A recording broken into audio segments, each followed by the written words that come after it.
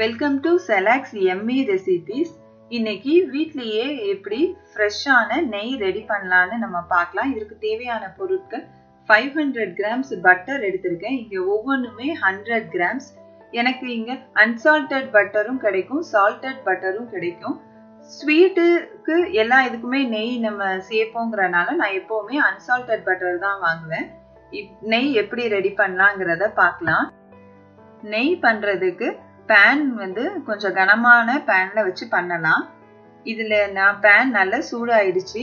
இதில் பட்டர் எல்லாத்தையும் நான் இதில் சேர்த்துடுறேன். இது நல்லா கொஞ்சம் கொஞ்சமாக உருக ஆரம்பிக்குது. இது பண் நெய் பண்ணுறதுக்கு ஃப்ளேமை வந்து மீடியம் ஃப்ளேமுக்கும் கம்மியாகவே வச்சு பண்ணுங்க.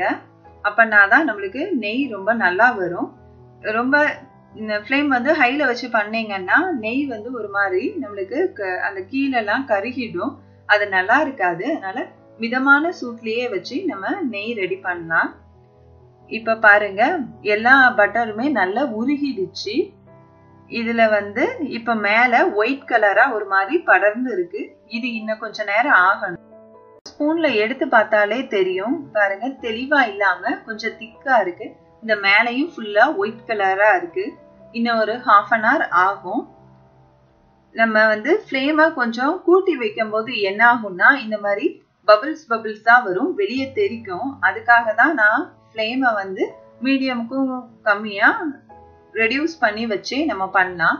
இப்போ வந்து நெய் வந்து கொஞ்சம் கொதிக்க ஆரம்பிச்சிடுச்சு. இந்த மேலே உள்ள ஒயிட் எல்லாம் கொஞ்சம் போயிடுச்சு. அப்பப்போ கிளறி விட்டுட்டே இருங்க. செக் பண்ணுங்க. நீங்க ஸ்பூனால எடுத்து பார்க்கும் போதே தெரியும். நம்மளுக்கு அந்த திக்னஸ் போய் நல்ல ஸ்பூன்ல தெளிவான நெய் கிடைக்கும். இது இன்னும் கொஞ்சம் டைம் ஆகும்.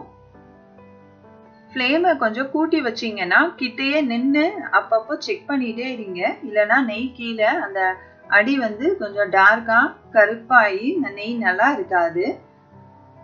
இப்போ நல்லா கொதிக்க ஆரம்பிச்சிருச்சு. பாருங்க மேலே உள்ள அந்த ஒயிட் கலரெல்லாம் போயிடுச்சு. இப்போ நெய் எப்படி இருக்கு செக் பண்ணால் இப்போ பாருங்க ஸ்பூனில் எடுக்கிறப்போ நல்லா தெளிவாக வருது. இந்த டைமில் நான் ஃப்ளேமை ஆஃப் பண்ணிடுறேன். ஏன்னா அந்த பேனோட சூட்லேயே அந்த மேலே உள்ளதெல்லாம் நம்மளுக்கு கீழே போய் படிஞ்சிருக்கு. நெய் பாருங்க இப்போ நல்ல தெளிவா இருக்கு. நெய் ரெடி ஆயிடுச்சு. நெய் நல்லா ஆறுனதுக்கு அப்புறம் நான் இந்த பாட்டிலில் ஃபில்டர் பண்ணி வச்சிருக்கிறேன்.